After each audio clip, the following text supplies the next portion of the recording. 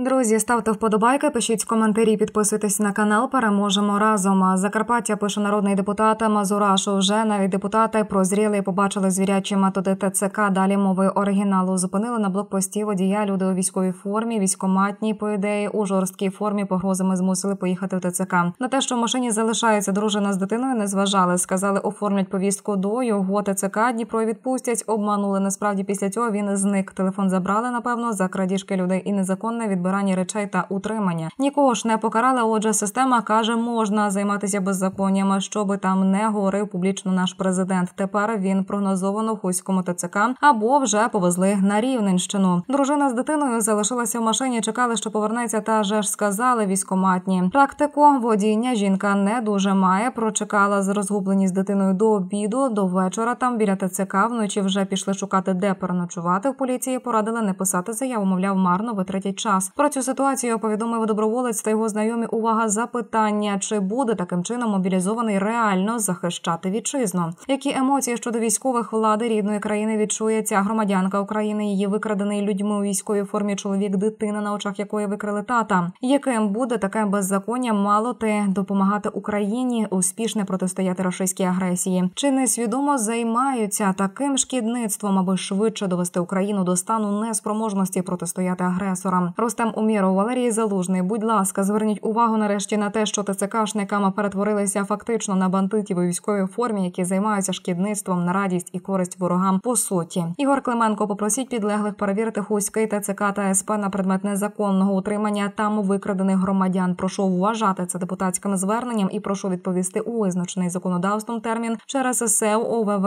або на пошту. Якщо, звісно, не дай Боже, не дали команду закривати очі на беззаконня з боку ТЦК. А ось що написала сама дружина. Відео в оригіналі.